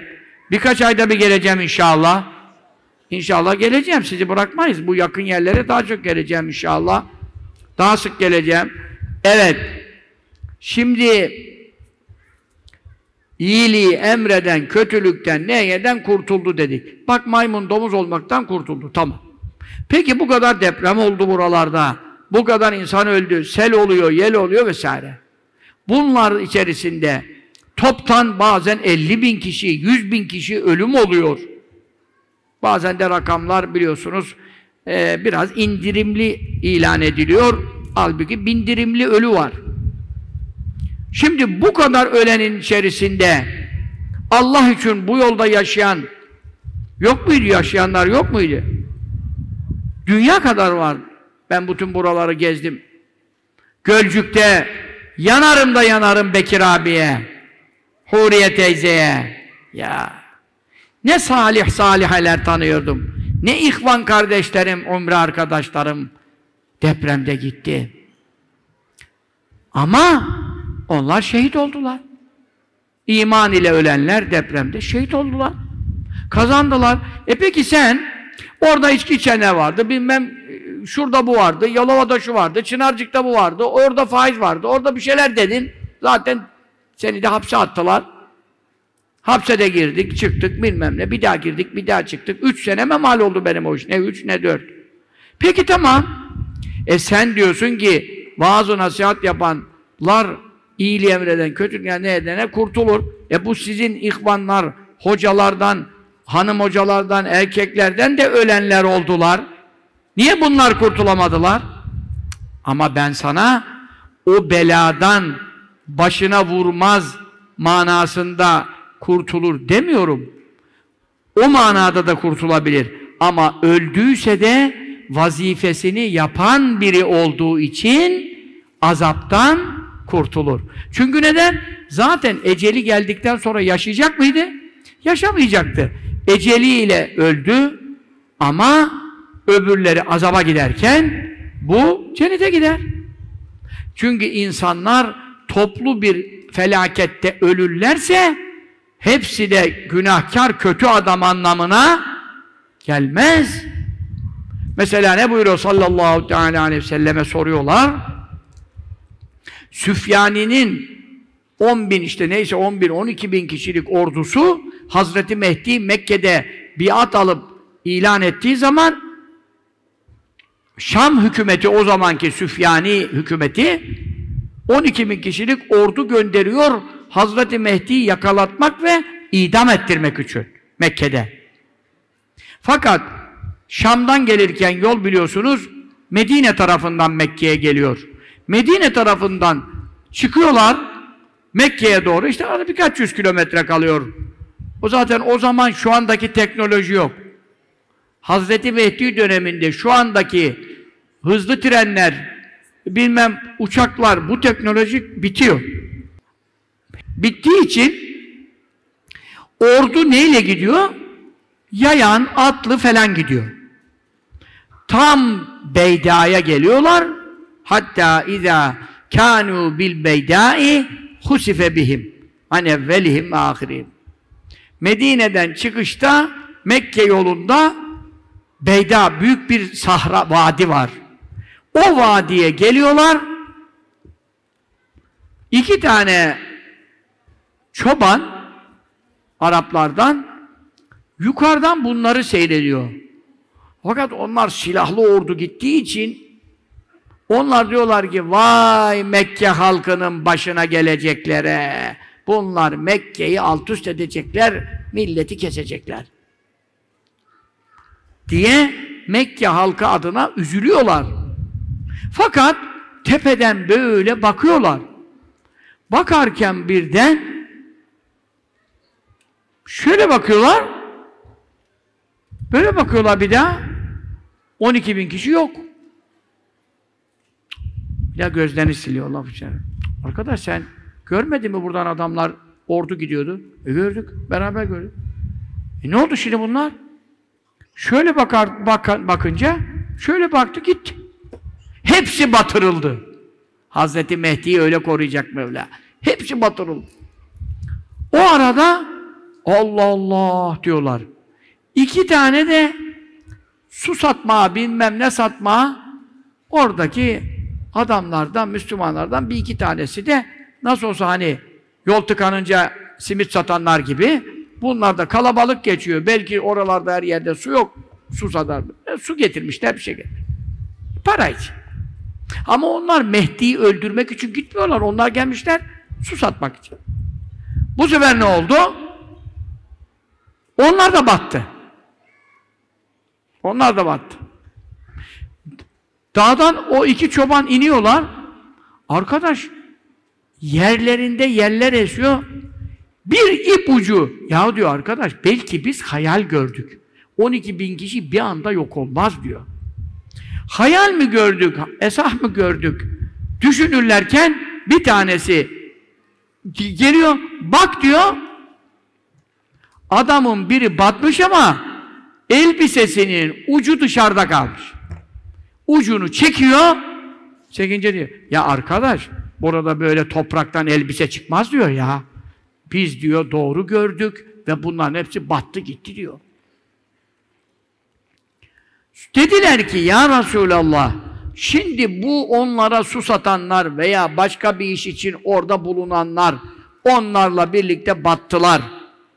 Bunlar da mı azaba cehenneme düştüler? Ne buyuruyor sallallahu teala aleyhi ve sellem? Sümme yub'asûne alâ niyyâtihim. Evet, birlikte toptan azap gelirse, depremi, yeliseli, iyi, iyilerle kötüleri bir anda alır götürür ama dirilirken hepsi aynı amel üzere olmadığından, aynı niyet üzere olmadığından azapta dirilmez. Niyetlerine göre diriltilirler. Onun için iyiliği emredip kötülükten nehyeden, vaaz eden, nasihat eden, Kur'an'a, dine hizmet eden, Allah için bu insanlar cehenneme gitmesin diye acıyan, birkaç kelam eden sizler inşallah hepimiz onlardan oluruz. Mutlaka kurtuluruz. Azap da gelse, toptan da gelse, parakende de gelse kurtuluruz. Ama ölümümüz, ecelimiz geldiyse ölürüz. Belki bizim de kafamız, gözümüz ezilir betonlar altında. Ama mühim olan o değil. Niyet neydi? Amel neydi? İhlas var mıydı? Yoksa iflas var. Onun için biz sohbete, vaaza devam edeceğiz. Kaç kişi dinlerse dinlesin, dinlemezse dinlemesin. Ama insanlara fayda oluyor ya. Çok namaza başlayan var, çok kapanan var ya. Bir görsen açık saçık, nice insanlar geliyorlar yollarda izlerde. Biz senin sohbetini dinliyoruz, şöyle yapıyoruz, böyle yapıyoruz. Şaşırıyorum, kalıyorum ya. Tipler, şekiller çok da cemaata benzemiyorlar. Ama biz vazifemizi yapalım. Allah bu işi tamamlayacaktır. Celle Celaluhu ve zekkir Habibim vaaza devam et fe inne zikra tenfe'ül müminin zerre kadar imanı olana vaaz nasihat fayda verecek. Ama hiç imanı olmayan ona da iman nasip oluyor. Kafir mümin oluyor, yola geliyor. Böyle de var. Kaç kişi Hristiyan döndü? Adamın nasibi varsa benim şeyimden değil. Ben sohbet ediyorum. Adam anlamıyor. Fransız. Yanındaki arkadaş diyor ki yahu diyor ben ona dinletiyorum diyor. Adam da sen de diyor ya Türkçe ya Arapça. Adam anlamıyor. Ya dedi ki diyor bu ne anlatıyor ya? Biraz bana anlatır mısın dedi diyor. Ben diyor biraz tercüme falan neyse o da Fransa'da çalıştığı için bayağı güzel konuşuyor demek. Anlattım anlattım. Böyle ikide bir diyor bana onu aç. Anlat şudur budur. Adam Müslüman oldu. Adam Müslüman oldu. Hanımı da Müslüman oldu. Hanımı çarşaf giydi. Fransız. Tercümeden ya. Kendi sakal bıraktı cübbeli. E bunları gördüm ya. Bir tanesi Müslüman oldu, 15 gün sonra vefat etti. İtibar son nefesedir. Ömrü boyu Müslüman namazı yaşayıp gavur geberen var. İşte ömrü boyu İngiliz, Fransız yani Hristiyan ama 10 gün kala, 5 gün kala iman nasip olan var. Allah niyetlerimizi biliyor. Biz yeter ki Allah için samimi olalım. Rabbimize iman edelim, buyurduklarına iman edelim. Cenneti tercih edelim. Dünyayı tercih etmeyelim. Dine ayıralım. Vakitlerimizi ilme ayıralım. Şu millet sel gibi cehenneme gidiyor. Bunların kurtuluşuna arayalım, ayıralım. Allah bizi nurumuzu tamama erdirecektir. Allah ecrimizi zayi etmeyecektir. Onun için kardeşler, şimdi hepimiz evimize gideceğiz. Kimisi çay içecek, kimisi meyve hazırlanacak, kimisi yatacak. Başımız, damımız var, yuvamız var, ekmeğimiz var, yemeğimiz var. Herkesin eşit olmasa da. Ama Gazze'de, Filistin'de ne dam kaldı, ne ot kaldı, ne ocak kaldı ve Müslümanlar perişan halde refah kapısına oralara sığındılar. Şimdi oralardan Sina'ya tehcir vesaire vesaire. Geçen işte Halit Meş'al mü Mücahit onu ziyaret ettim. İsmail Heniye ziyaret ettim. Türkiye'deler. O dönemde ziyaret ettim. Birkaç gün evvel ondan sonra dertleştim, konuştum, ettim. Dediler ki vallahi dediler bizim Gazze'li Müslümanlar ölümü zaten seve seve şehitliği istikbal ediyorlar, karşılıyorlar. Onun için biri şehit olduğu zaman helva dağıtıyorlar. Ellerinden gelirse şeker dağıtıyorlar yani gelmesi neyse ne varsa sevinçlerinden. Bizim Gazze ehli, Filistin ehli tabi onlarda da bazı hainler çıktı. Yani Yahudi ile işbirliği yapan Filistin tebalı Arap kökenli Filistin ırkından yani ama az çıktı. Yani Yahudi ile çalışan, ajanlık yapan az çıktı. Ama ekseriyet itibariyle gıpta edilecek bir cihat sergiliyorlar. Şu anda yani bu baskıya rağmen ben işte teşbih yapıp da o millet bu millet lüzum yok ama Müslümanların ekseriyeti o bomba bombardıman altında çoluğuyla çocuğuyla durmayıp nereye gönderiyorsanız gönderin de gideyim der yani. Ama o kutsal toprakları o suhur o Mescid-i Aksa'nın sınırı ora. Mescid-i Aksa'nın sınırlarını korumak için şehitliği göze aldılar, aç susuz kaldılar, ilaçsız kaldılar, çoluk çocuklar efendim açlıktan bas bas bağırarak ölüyorlar. Fosfor bombalarıyla bağıra bağıra paramparça oluyorlar. Yine de serhat boylarını terk etmiyorlar. Allah cihatlarını mübarek eylesin. Allah onlara yardım eylesin. Bizim milletimiz dedi Allah'ın izniyle dedi Gazze'yi terk etmeyecek. Ama bu cihat uzun soluklu olacak. Çünkü 4-5 ayı geçti. Biz birkaç ayda hani Müslümanlar zafere erer, galip gelir dualarıyla, temennileriyle yaşıyoruz hala. Ama bu dedi kaderullah. Bunda Allah'ın hikmetleri var. Bunda sade biz imtihan olmuyoruz dedi. Bütün Müslümanım diyenler bizimle imtihan oluyor. Derdimizle dertlendiler mi? Bize dua ettiler mi? Bize yardım gönderdiler mi? maddi, manevi destek oldular mı? Esas iki milyar Müslüman ha bütün dünya halkı imtihan oluyor ama özellikle Müslümanım diyenler bunun hesabını veremezler. Men lem yehtemme bi umuril müslimin feleyse Müslümanların derdiyle dertlenmeyen onlardan olamaz. E şimdi biraz iştahın kaçacak, biraz uykun kaçacak, bir, bir dua yapacaksın, maddi durumun varsa bir destek çıkacaksın. İşte Tayyip Bey geçen gün açıkladı bilmem ne kadar tonlarca işte Türkiye'den, bizim Müslümanlardan yardımlar gitmiş elhamdülillah. Biraz yardımların ulaşma imkanları da arttı yani.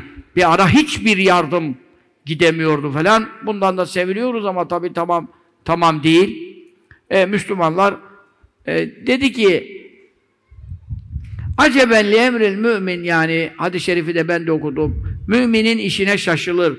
İnne emruhu hayrun kullu. Müminin işinde şer olmaz, başına her gelende hayır olur. Ne demek yani? İn esabehu ni'metun feşekera fekâne hayralle. Nimet gelirse, bolluk gelirse, özgürlük gelirse, zafer gelirse şükreder, kazanır.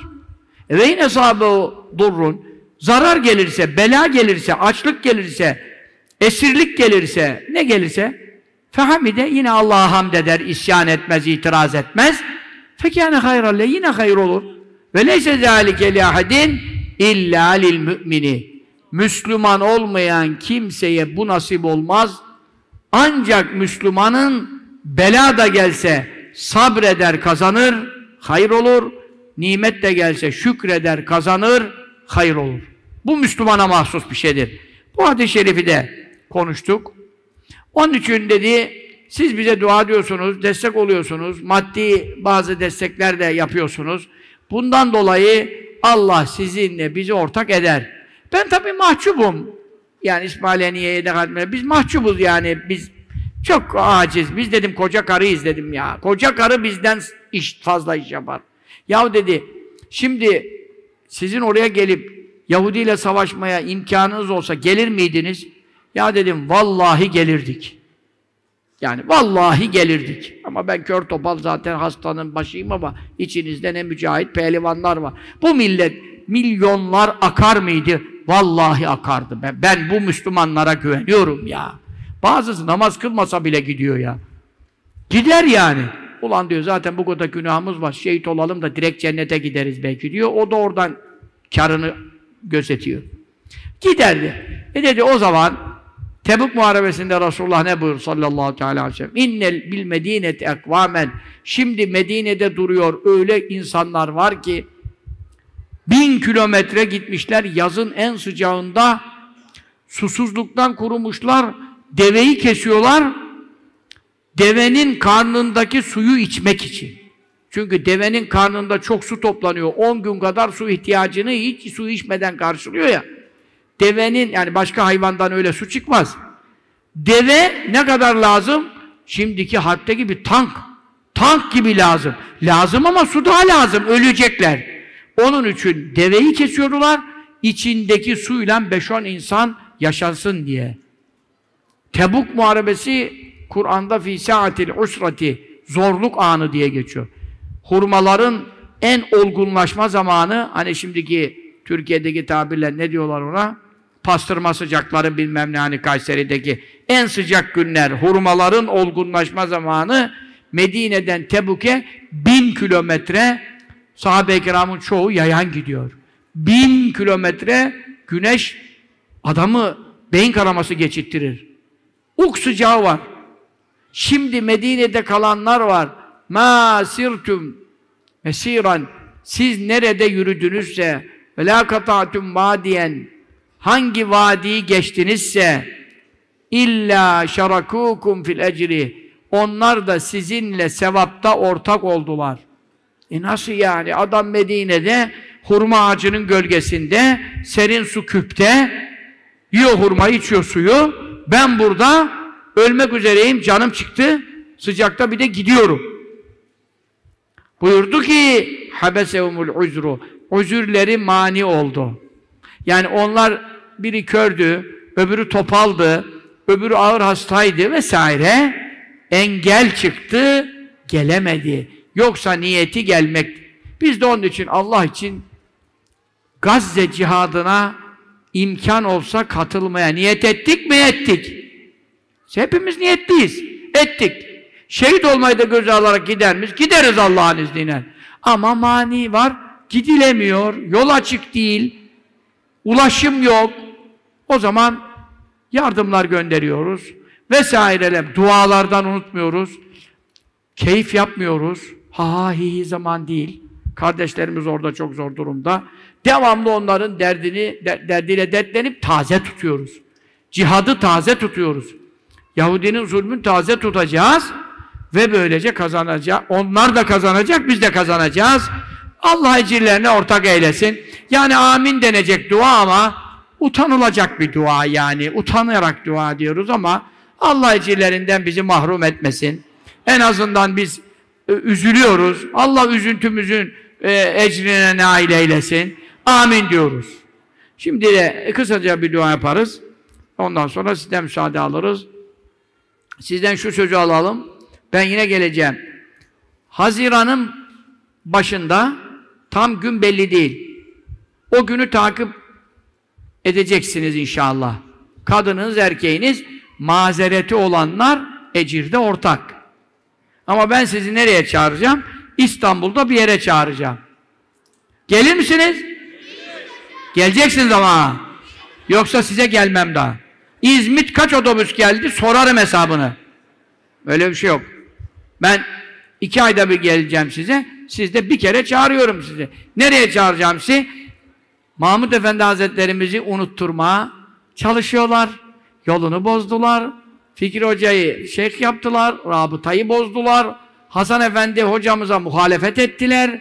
Hocamız 20 aydır bana rabıta olmaz dedi. Efendiye ben rabıta yapıyorum dediği halde onun ölümünü bekler beklemez benim yine doğruluğum meydana çıktı. Bunların derdi rabıtayı bozmaktır. İsmaila yöneticisi Seyfettin İnanç ne dedi? Herkes Fikri Hoca'ya yapacak dedi. İnşallah dedi, efendiye yapanlar da döner. Bizi efendiden döndürmek için adamlar dua etmeye başladı. Bunlar Sıvana'dan çıktı, raydan çıktı. Biz kime tabi olduk? Denizli'deki İbrahim Efendi hocamıza, Ali Haydar Efendi babamızdan kalan büyük alim, büyük veliye gittik. Başımıza emir olarak onu seçtik. O da dedi ki Efendi Hazretleri son şeyhtir. Efendi Hazreti Mehdi'ye kadar vekilleriyle ulaşacaktır. Rabıta Hazreti Mehdi'ye devam edecektir. Bütün hoca efendiler şu anda akın akın İbrahim Efendi hocamıza tabi oluyor. Maaşlı vekiller bilmem neler bilmiyorum. Onlar nerede kalırsa kalıyor. Bugün e, meşhur hocalarımızdan e, efendim e, Mehmet İslamoğlu Hoca Efendi de geldi. Ömer Mahmutoğlu hocamız da geldi. Yusuf Şensoy hocamız geldi. Adem hocamız Ulaş, Adem Ulaş hocamız geldi. Öbür Adem hoca zaten burada Adamaz'da. O zaten çoktan ilan etti. Bütün hoca efendiler teker teker önümüzdeki hafta göreceksiniz. İbrahim Efendi tarikatı bozdurmadığı için, efendiyle devam ettiği için, silsileye iftira katmadığı için bütün kadın erkek medreseler, hocalar yakın zamanda hakkı bulacaktır. Allah şu anda yanlışta olanları da hidayet eylesin, ıslah eylesin, şuur nasip eylesin, şuur versin. Ama bu kaçınılmaz bir ayrılıktır. Çünkü Efendi rabıta bana devam edecek diye kulaklarımla vasiyet etti. Hasan Efendi'den sonra cemaat seçer dedi. Ama onlar cemaat şuraya seçtirmedi. Ne yaptılar? Hasan Efendi böyle dedi dediler. Hani Hasan Efendi'nin sesi? Yok. Bana gelmesin dedi. İyi niyetle dedi. Kavga çıkmasın diye dedi. Hasan Efendi hocamız. Kabri nur olsun. Allah derecesini alır. Hasan Efendi büyük evliyadandır. Ha, o, o fitneyi önlemek için dedi. 20 aydır benim aleyhime konuşacaklar. Hep böyle yaptı. Hep böyle. Cübbenin aleyhine konuşmak yok dedi. Kendileri şahit. Ama Hasan Efendi hocamıza bir operasyon çekti oğlu. Hocamız, bizim hocamız, başımızın tacı. Kabrine Allah Teala rahmet, dağlar emsali rahmetler idhal eylesin amin. O bu rabıtayı korudu. Ben efendiye rabıta yapıyorum dedi. Siz ne yapıyorsunuz dedi. Ama ölür ölmez hemen onu bekliyorlardı. Hani şahit? Fikri Hoca'yı seçti. Ne dedi Mehmet Ali Hoca?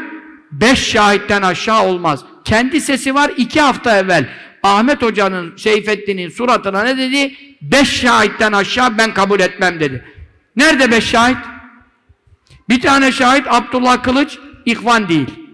Bir tane şahit Abdurrahman Kılıç, oğlu, iki oğlu, ihvan bile değil. Bir tane Salih Topçu, bir de Ahmet Usta Osmanoğlu. Beşten aşağı kurtarmaz dedin, İki tanesi zaten ihvan değil. Ahmet Hoca'nın ihvan olup olmadığı kesin değil. Burada bir kişiyle, iki kişiyle Hasan Efendi böyle dedi. Peki Efendi Hazretleri ne buyurmuştu bize? Ben yeni konuşmuyorum bunu. Bir sene evvel sohbetimde var, kaç sene evvel teke teklerde bile var. Cema Hasan Efendi, Mustafa Efendi'den sonra cemaat seçer dedi. Onların seçme yetkisi yok dedi. Vallahi böyle dedi, billahi böyle dedi. E şimdi bunlar Efendimiz'in vasiyetini bozdular, cemaata, şuraya sunmadılar.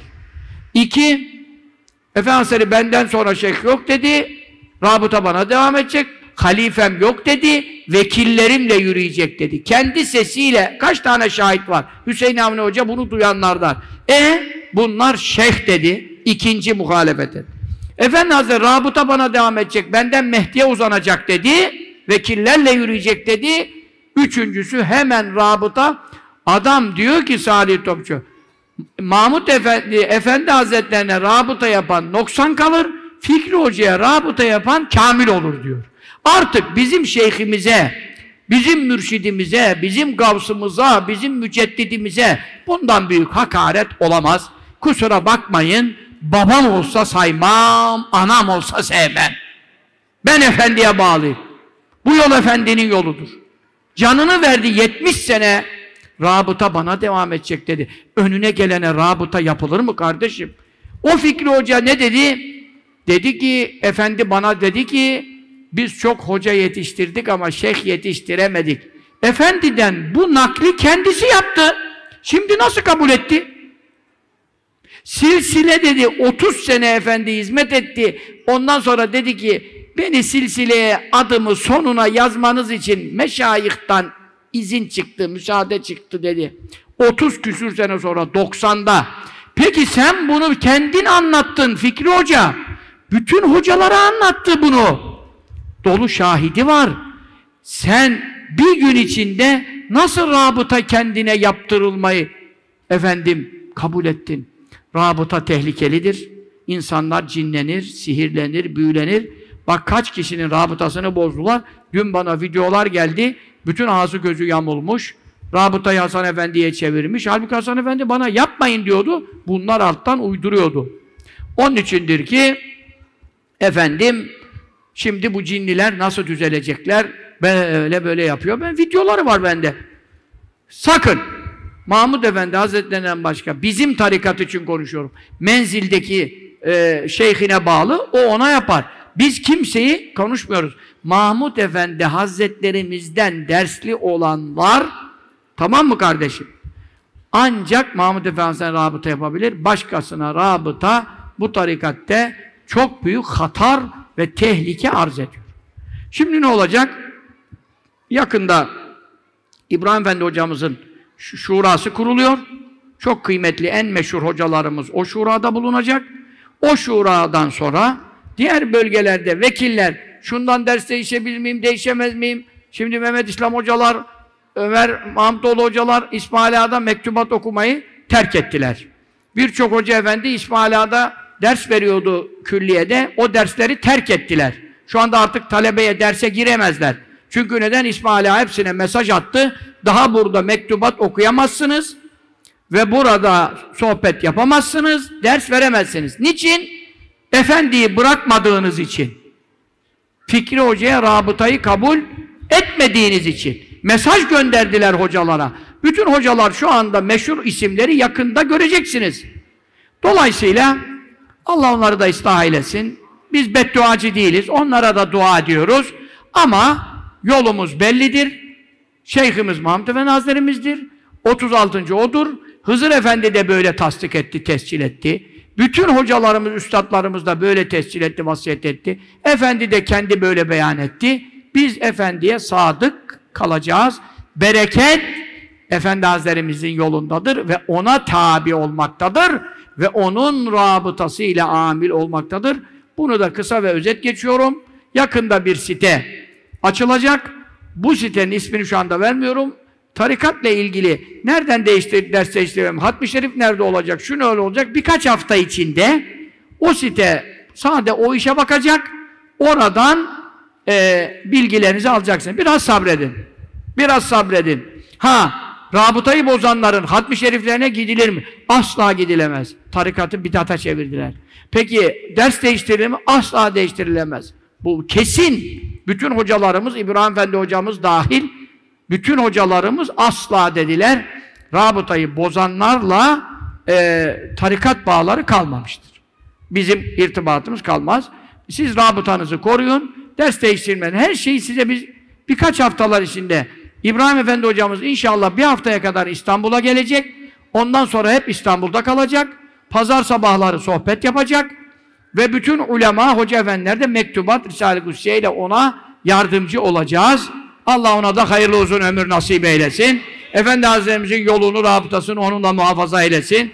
Bize de ona hayırla hizmet yapmayı nasip eylesin. Biz kendimizi öne çıkarma derdinde değiliz. Biz Efendi Hazretlerimizin yolunu Mehdi'ye kadar ulaştıracak, vekillerle yürüyecek bu yolu yaşatmak derdindeyiz. Dualarınızı bekleriz. Allah hepimizi muvaffak eylesin. Şimdi dualar edelim. Amin. Subhane Rabbiyel aleyhi aleyhi ve elhamdülillahi Rabbil alemin. Sallallahu ala seyyidil murselin. Muhammedin ve ala aleyhi ve sahibi ecma'in. Ya Allah ya alim ya azim ya halim ya alim ya hakim la ilahe illa ente ve la na'budu illa iyyake fa'fu anna ve afina ve teqabbel minna. İnneke entes semi'ul alim. Allahümme ec'alna nebiyyena Muhammeda sallallahu teala aleyhi ve sellem. Allahümme ec'alna şuhana hayral ceza. Hususan şeyhuna ve ruhu ruhina ve hadina ilallah el-hâc aliyul haydel lehıskavi ve hadrul hâce Mahmud ve kaddesallahu esrarul aliyye. Allahümme izzel İslam'e vel müslimin ve dille şirke vel müşrikin. Allahümme kahhiril keferate vel fecerate vel mulhidin. Allahümme eşgılil zalimine bil zalimin ve ahircina benim salimin aminin ganimin ya ilahel alemin ya Rabbi bu cemaati affeyle mağfiret eyle çıkmadan boyunlarımızı cehennemden azat eyle çıkarken meleklerin tebşiratına mazhar eyle af olarak kalkın günahların sevaba döndürdün müjdesine nail eyle ya Rabbi yavrularımızı terbiyeden aciz kaldık hayırla ıslah eyle ya Rabbi eşlerimizi bize yar eyle Aralarımıza Kur'an, sünnet, huzuru ihsan eyle. Evlerimizi, ocaklarımızı Kur'an, sünnet ocağına tebdil eyle. Eğlence sevgilerini kalplerimizden ihraç eyle. İlim, ibadet sevgilerini kalplerimize ilka eyle. Ya Rabbi vatanımızı, İslam vatanlarını iç savaştan, dış savaştan muhafaza eyle. Zelzelelerden, afat, semaviye ve arıdı eden masun eyle. Ya Rabbi burada amin diyen kardeşlerimizin kalplerinde ne hayırlı muratları varsa ihsan eyle. Ne zor işleri varsa asan eyle. Ya Rabbi ne sıkıntıları varsa feraha tebdil eyle. Ya Rabbi kadınımız, erkeğimiz, çoluğumuz, çocuğumuzla beraber gelmişler burada binlerce insan kurban olduğum bizi mahrum etme ya Rabbi. Bizi yolundan ayırma ya Rabbi. Bizi Efendi Hazretlerimizin yolundan ayırma ya Rabbi. Dostlarına bağışla ya Rabbi. Kurban olduğum sana Allah'ım Gazze'ye yardım eyle. Filistin'e yardım eyle. Ya Rabbi yaralıları tedavi eyle. Ya Rabbi şehitlerine yüksek derece ikram eyle. Ya Rabbi çoluk çocukların gıdalarını, mamalarını, ilaçlarını ihsal eyle. Ya Rabbi bütün nim, rahmet kapılarını onlara fetheyle. Ya Rabbi bütün yardımların ulaşmasını nasip eyle. Ya Rabbi bizim hükümetimizi de bu hususta agah eyle. Yap bir şeyler yapmaya çalışıyorlar, başarılı eyle. Bir an önce kurban oldum sana Allah'ın bütün İslam ülkelerinin liderlerinde, milletlerinde ikaz eyle. Gazze hususunda birlik beraberlik ihsan eyle. Bir an önce Gazze'yi feraha çıkart ya Rabbi.